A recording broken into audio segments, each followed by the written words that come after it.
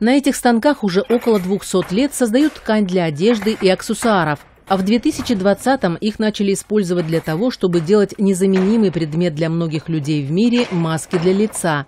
И маски, которые шьют здесь, в Бергамо, с уверенностью можно отнести к изделиям класса люкс. Ткань для них делают золотой нитью.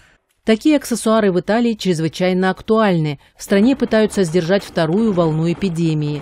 Теперь, согласно закону, все, выходя из дома, должны постоянно носить маски. Во время первой волны Бергамо был одним из самых пострадавших городов. Теперь он хочет поддержать усилия по сдерживанию вируса.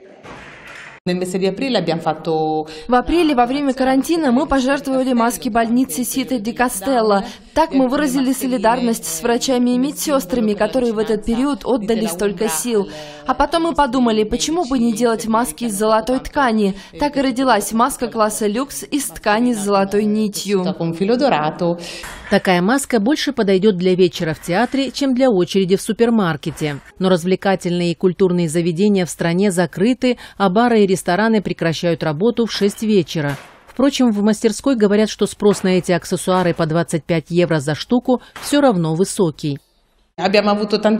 Запросы на маску класса люкс поступают со всей страны. Есть и из-за границы, из Германии, Швейцарии, Испании. Одна женщина из Германии заказала три таких маски и сказала, что с нетерпением ждет открытия театров, чтобы пойти туда в одно из них.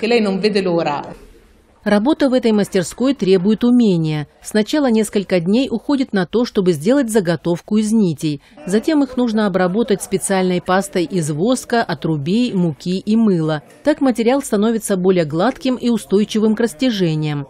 Чтобы создать отрезок ткани на несколько масок, требуется целый день работы на станке. Э, Чтобы сделать метр ткани, требуется 8 часов. И это при условии, что все будет хорошо, что нити не порвутся и не возникнет других проблем. Потом ткань снимают со станка, вырезают по выкройке и шьют. Эта мастерская открылась в начале 20-го столетия, а традиция ткачества в регионе Умбрия существует с 14-15 веков.